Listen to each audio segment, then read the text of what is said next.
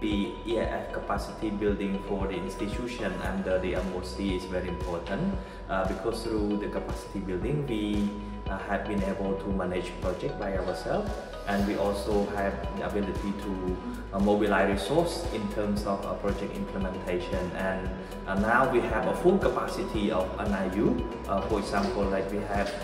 resource mobilization bureau, we have AIDS management bureau, we have M&E bureau, as well as the communication bureau, the full feature of the component which are important for uh, project implementation and also a future